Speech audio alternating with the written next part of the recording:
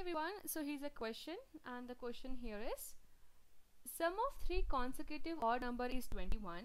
Find the numbers. So before we begin, let us understand what we mean by consecutive. So consecutive means a number which comes one after the other, like it should be immediate numbers. So they're asking here three consecutive odd number, like it should be 1, 3, 5 or 5, 7, 9 or 11, 13, 15 like that, but they should be consecutive. It could be start from, it can start from anywhere. So what we're going to do, we don't know what are these three numbers. So we're going to assume these three numbers and then we're going to start this. So let me take an example to explain you. Suppose my three, just suppose, okay suppose the three consecutive numbers are like 1 I'm taking first three numbers. 1 3 5 and then 7 and it's keep on going right? Suppose my first number is x okay? It can take x can take any odd number. I don't know which number will gonna come in place of x. Suppose the first number is x. Now if you observe the sequence here 1 3 5 7 from 1 how much I should add to get 3 it is plus 2 again from 3, how much I should add to get 5? It is again plus 2. So if you keep on adding up uh, 2 to the first odd number or the previous odd number, you will get the next odd number, right? So if the first uh, odd number is x, the second odd number will be x plus 2 and the third odd number will be x plus again to this x plus 2 I'm going to add one more 2 so it become x plus 4 so x, x plus 2 and x plus 4 will be the three consecutive odd numbers here.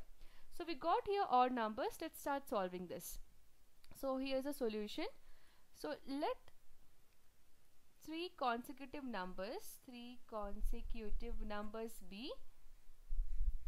So it's very important to understand how we got this. So uh, three consecutive odd numbers, right? So odd numbers be.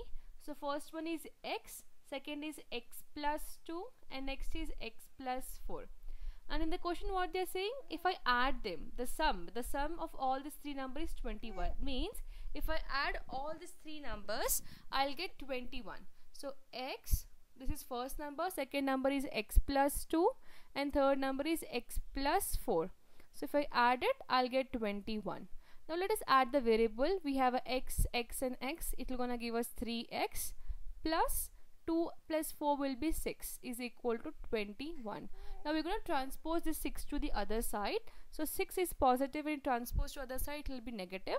So 3x is equal to 21 minus 6 which is 15 so 3x is equal to 15 now this 3 is in multiplication with x. So if you transpose 3 to the other side it will be it will become division. It comes in division. So x is equal to 15 upon 3 we can cancel 3 and 15 we'll get the answer 5 so the first odd number will be 5 here so x we have taken right? And we got x is equal to 5 so the first odd number or first number or first odd number will be uh, 5 and then second number will be x plus 2 right? So x plus 2 is nothing but 5 plus 2 which will be nothing but 7 and next we got x plus 4 which is 5 plus 4 which is nothing but 9 so from here we can conclude that therefore 5, 7 and 9 are three consecutive numbers.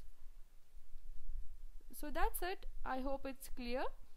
Now in case you got any question or doubt you can drop a comment below. Thank you so much for watching.